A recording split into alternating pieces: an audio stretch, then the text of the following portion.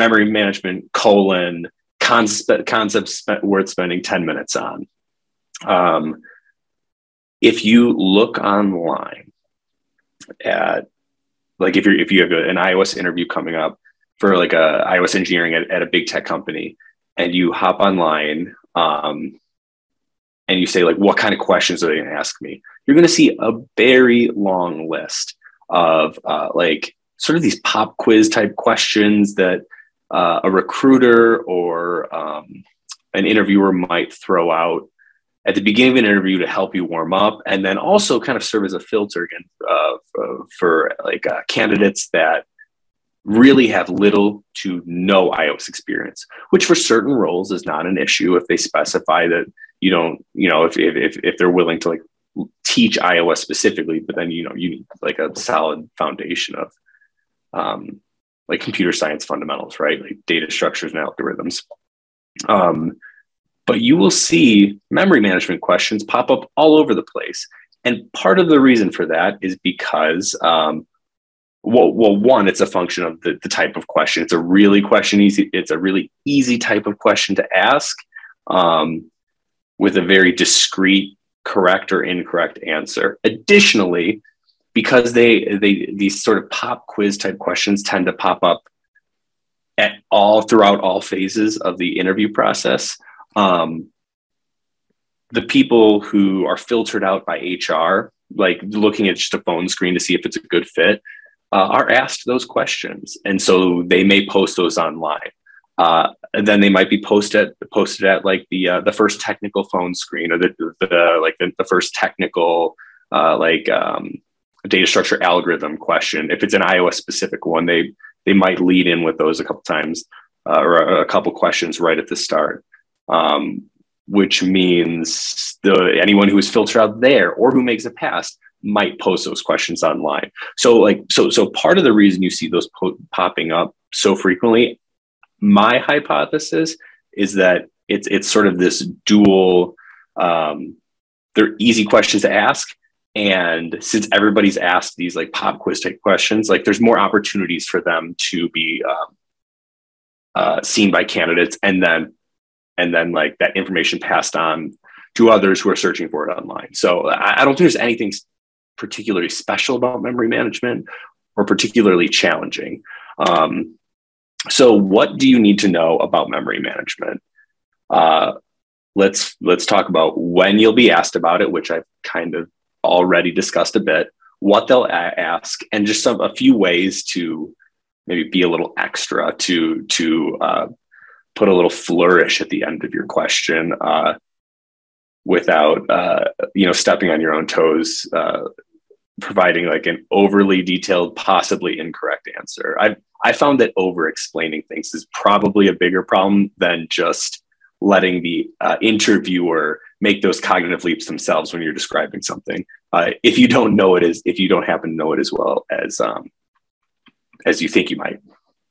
Uh, and I am speaking from personal experience on that one. Uh, any Okay, cool. So, um, like I said earlier, what sort of questions will we see regarding memory management? Um, almost exclusively, all the questions I've run into uh, I, I, I, tend not to ask them as an interviewer. Uh, I don't find them very interesting. But uh, as an interviewee, yeah, it's it's these like iOS pop quiz questions. Um, it is possible that like you could be presented with a piece of code, uh, and the the interviewer might say like, "What's the issue with this code?" and might give you five or ten minutes to figure out what it is in the event that it's related to like the, the, the issues related to memory management.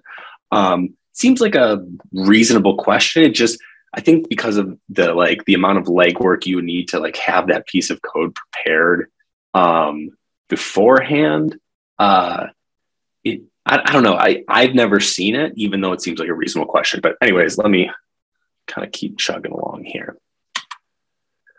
So I will take a second and just ask how is memory managed in iOS? Does anybody want to throw a hand up, talk, share, or just write in the chat?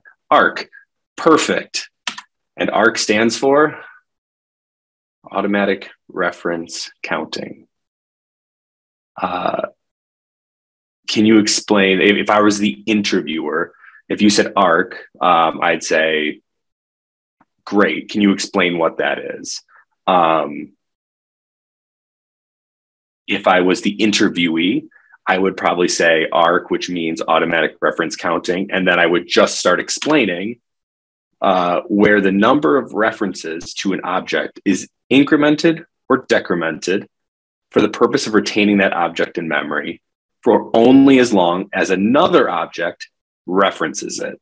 Yeah, perfect, Pranav. That, that's exactly it. Runtime tracks number of references for every created object and deallocates the object with zero reference count. Yeah, perfect. Uh, if you say if you just say arc and then kind of provide that your interpretation of the definition, um, pretty strong, uh, pretty strong response. Uh, you could also um, get questions about what is a re- retain cycle. Anybody? This is a pretty quick one, so I'll, I'll wait a minute or two and see if anyone can throw that out in the chat.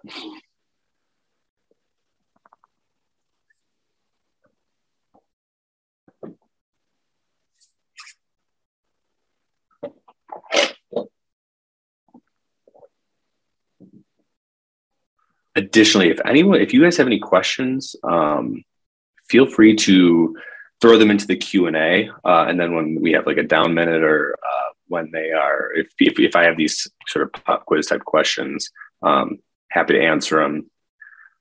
Okay, so two. So what is a retain cycle? Two objects holding a reference to each other. Another definition, two objects uh, referencing each other so they never get deallocated from memory. Yes, that never getting deallocated from memory is is the key part of that. Another um, another uh, what, what is it a synonym for that or another term would be uh, like a memory leak, right? Um, retain cycle memory leak. Um, yeah, so when two or more objects hold a reference um, more specifically, a strong reference uh, to each other, such that their associated reference counts never reach zero and therefore are never released or deallocated from memory. Um, how can a retain cycle be addressed? Uh, again, I'm gonna I'm gonna wait here. This is a real. Uh, well, I don't have to tell you how easy it is. Not using string references. Oh, strong references. Okay, yeah. So the Q and A Strong. Got it. Thumbs up. And I'm just to dismiss and dismiss. Cool. Perfect. Uh, make the owner reference and the owned reference object. Okay, so the solution provided by Pranav um, make the owner reference the owned object with a weak reference. Yeah. So, so, um, yeah, obviously, just in short, specify one of the references as, as weak. Um, yeah, you'd, you'd want the one that's going to be in memory. Like, uh, well, uh, before I give it uh, later questions away, I'll, I'll, uh, I'll not expound on that yet. So, what is a weak reference? more strong if that if you feel like that is an easier thing to describe.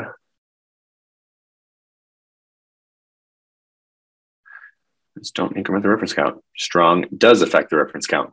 Perfect. Yeah, that's actually probably a better explanation than mine.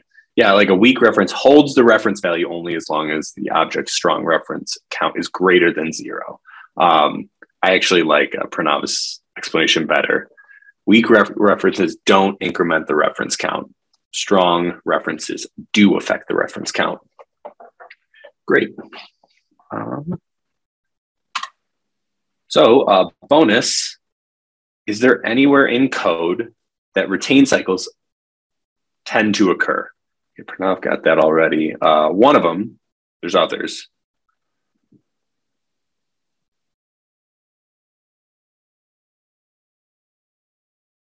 child view controllers delegates doesn't have a count. Yep, cool. that, like that. There's another one that um some yes. Async calls uh, I, I, in general completions right? Um so so yeah, the first one that someone mentioned, I think Pranav, was the like implementations of the delegate pattern. So here we have an example of some protocol that holds a reference to the view and then might handle some stuff or something like that, right? Um, now a class, like let's say this leaky view, which uh, uh, is a UI view, let's say it has a delegate, which is some view delegate, right? In this implementation, um, they these are both strong references, right? So in order to fix this, uh, we might we, we we we would probably want the the view uh, to to reference the delegate as weak. Um, and once something is weak, then it has to be an optional. Um, once a variable is weak, it has to be an optional such that like because it's because it's not guaranteed that the um, that the uh, the the uh, variable won't become nil, right? Um, we also could have uh, made the the uh, the way to do it probably would have in this case been to make the view weak in the delegate. Um, that's probably a better way to do it. Anyways, let's keep moving on. Uh, the other place they tend to occur is closures or completions. Um, so let's say in this example, this object has a strong reference uh, to the closure. And since we used self in the closure block, the closure then creates a strong reference to the object itself. Um, in order, there's there's two ways that we could address this. Um, can anyone shout those out?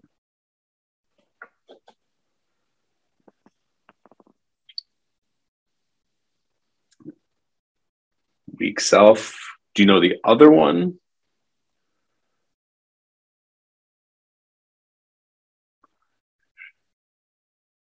Optional self. Yeah, so um, yeah, what I'm seeing a lot of people write, uh, you know, weak self in the closure, which, yep, uh, adding that weak self. Uh, and then at that point, self would be an optional. So we need to um, do that optional chaining in order if we're going to reference that or we're going to need to unwrap it or something like that. However, you deal with options, it's fine. Um, the other way to deal with it is using the unowned self.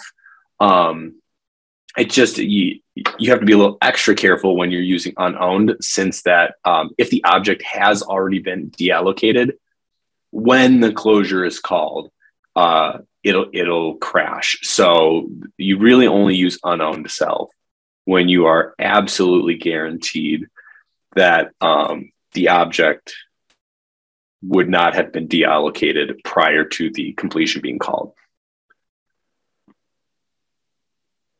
do we have any uncertainties or questions about those examples or anything we've talked about memory management?